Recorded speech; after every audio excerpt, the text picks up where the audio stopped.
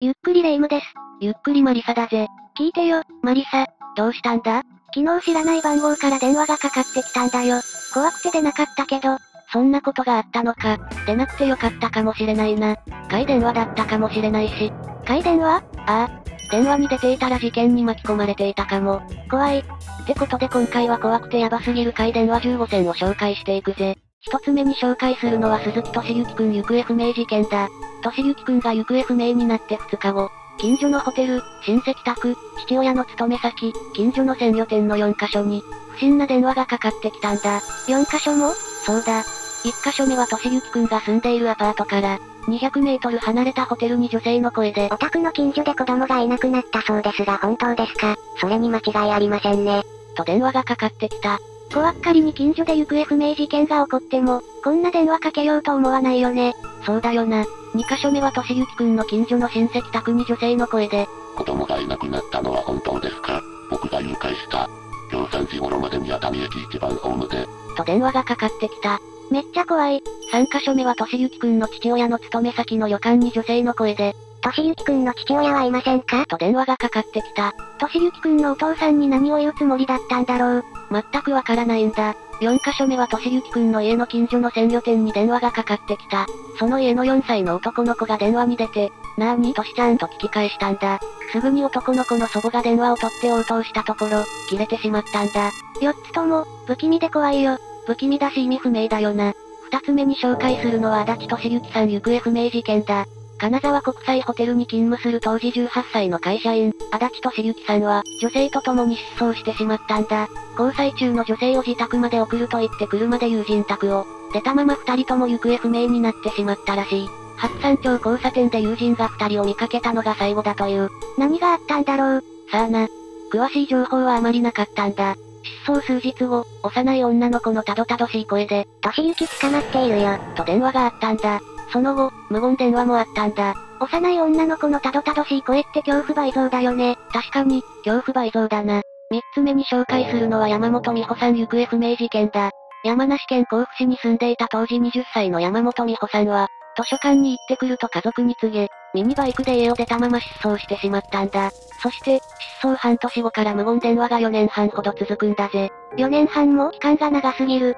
異常だよな。無言電話は、ほとんど数秒で切れるものだったが、失踪から3年4ヶ月後と3年6ヶ月後の2回の電話は、10から15分ほど続き、相手はじっと聞いている様子だったんだ。え、なんだろうね。不気味。不気味すぎるよな。3年6ヶ月後の電話では美穂でしょ？元気？と言うと、かすかに元気と答えたという。まさか、本人？どうだろうな。4つ目に紹介するのは土山真紀子ちゃん殺人事件だ。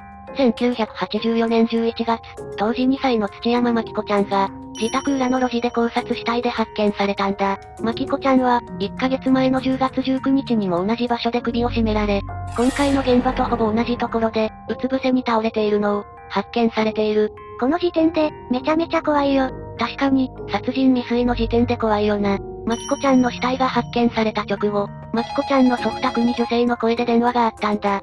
すすり泣きながら意味不明の言葉を続けた後最後に、すみません、と言って電話を切ったらしい。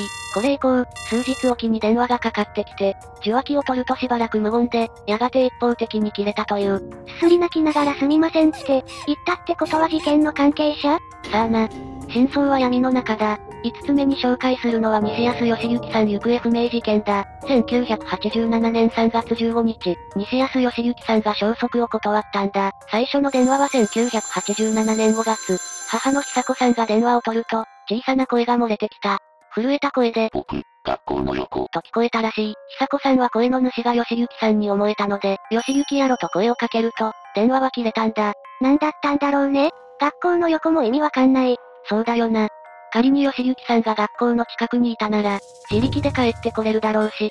そうだよね。その次に1993年3月頃の電話では、幼い女の子が、歌うから聞いて、を告げて、明かりをつけましょ。ぼんぼりにと歌い出したんだ。久子さんは、ふと思いつき、あんた、義行の子かと聞いたが、返事はなかった。こはもしかしたら歌が好きな女の子が、適当な番号にかけたっていう可能性もあるけど、どっちにしても急に電話越しで歌われたら怖すぎるよ。そうだよな。もしこんな電話かかってきたら怖すぎるよな。6つ目に紹介するのは松岡深也くん行方不明事件だ。深夜くんの捜索が空振りに終わり、自宅へ帰る前日、親戚宅に母親宛てに女性の声で電話が入ったんだ。女性は、中原真理子の母親だと名乗り、成形幼稚園の月組の父兄です。幼稚園で見舞金を集めたのですが、どちらに送ればよいのでしょうかもう帰ってくるんですか？と聞いてきたという。普通の電話じゃない？いや、数日経って幼稚園に問い合わせてみたところ、見舞金を集めたという事実はなく、中原真理子という名前の子供もいないことが判明したんだ。え何が目的の電話だったんだろう？目的も偽名を使った理由も誰の仕業かも全くわからないんだ。7つ目に紹介するのは南野さよ子さん行方不明事件だ。1990年4月、ネパールを旅行中の大学生、南野さよ子さんが、ヒマラヤアンナプルナ登山口の町、ポカラにあるホテルに、衣類などの入ったザックを残したまま行方不明になったんだ。荷物が残ってるなら誘拐の可能性もあるよね。そうだな。行方不明から約4ヶ月後、自宅に電話がかかってくる。電話の相手は泣きながら、ああ、苦しい、悔しいと言ったんだ。さよこさんの母がどうしたのどこにいるのと聞くも、泣きじゃくったまま電話を切られたそうだ。電話の相手は、苦しい、悔しいって何があったんだろうね。さあな。何もわからない。8つ目に紹介するのは増山ひとみさん行方不明事件だ。ひとみさんは職場を退社後、行方不明になったんだ。行方不明から約1年経った頃自宅に年配の女性から、不審な電話がかかってきたんだ。はい。増山ですがとひとみさんの妹が電話を取ると、その女性は、もしもし、お姉ちゃんだよ、と返してきたんだ。妹がはい、誰ですか？と聞いても、お姉ちゃんだよ、の一点張り。どちら様ですか？と聞くと、ひとみです、と答え、電話が切れたという。何それ、お姉ちゃんだよの一点張りは怖すぎる。マリサもそう思うよね？お姉ちゃんだよ。や、やめてよ。ごめん、ごめん。もう言わないでね。わかったって。9つ目に紹介するのは佐藤純子さん行方不明事件だ。2000年9月12日、旅行先のスイス、セルマットで、一人でユースホステルに宿泊し朝食をとった後に失踪。荷物のバッグはベッドに残っていたんだ。失踪後、実家に不審な無言電話が計5回。決まって日本時間の8時半にかかってきたんだ。決まった時間にかかってくる無言電話とか不気味すぎる。そうだな。何か意図があったのかもしれないな。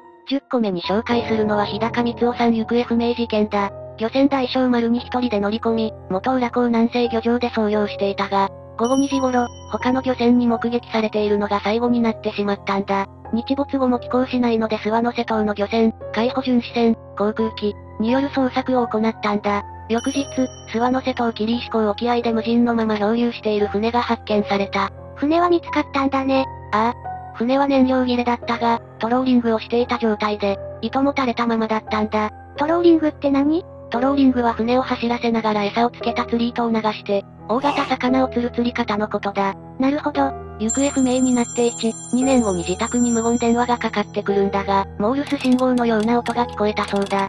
もしかして三尾さんが、モールス信号で、何かを伝えようとしてた可能性もあるんじゃない？行方不明になって1年以上経ってからか？確かに、時間経ちすぎか。11個目に紹介するのはユリア・ブローツカヤさん行方不明事件だ。北海道稚内市で、通訳をしていたロシア人女性の、ユリア・ブローツカヤさんが行方不明になってしまった。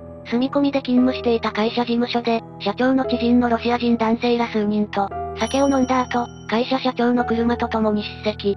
ブロードスカヤさんがパスポート、貴重品を残して出席していることから、警察は何者かに拉致監禁された可能性もあると見ていた。行方不明後、友人宅に女性の声で、行くとか17番地にいると電話があったんだ。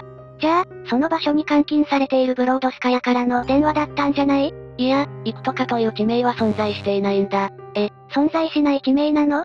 不気味な電話だね。12個目に紹介するのは長島康弘さん行方不明事件だ。安弘さんは母にレンタルビデオ屋にビデオを返してくるから、夕食は帰ってから食べるといつもと変わらない様子で言って、家を出て行方不明になってしまった。行方不明になった数ヶ月後に、安弘さんが病院に運び込まれた。と電話があって、連絡先を聞くが、その連絡先は繋がらなかったんだ。繋がらない連絡先を教えられたってこと？